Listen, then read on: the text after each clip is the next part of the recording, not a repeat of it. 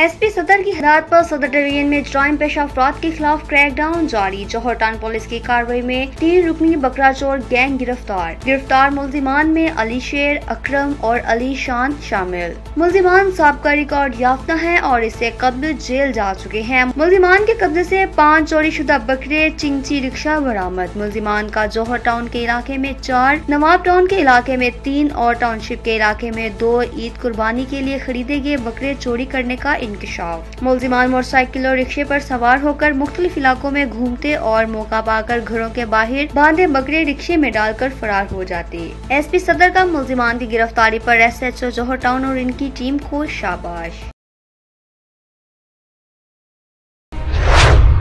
Lahore customs نے لاہور میں علامہ Iqbal international airport پر کاروائی کرتے ہوئے ہزاروں گولیوں کی اسمگلنگ ناکام بنا دی۔ سیکیورٹی اہلکاروں نے ایئرپورٹ سے گولیوں سے بھرے تین بیگ برامد کر لیے۔ جن کی تلاشی لی گئی تو ان میں سے چار ہزار چھ سو گولیاں اور آٹھ سو گولیوں کے خول نکلے۔ کسٹمز حکام نے گولیوں کو ضبط کر کے مشتبہ افراد کی تلاشی شروع کر دی۔ ایئرپورٹ سے گولیوں کی برامدگی کو اے ایس ایف اور پولیس کی بڑی ناکامی قرار دیا جا رہا ہے، کیونکہ ایئرپورٹ کے داخلی اور اندرونی دروازوں پر سخت چیکنگ کے باوجود کیسے گولیاں ایئرپورٹ کے اندر پہنچیں۔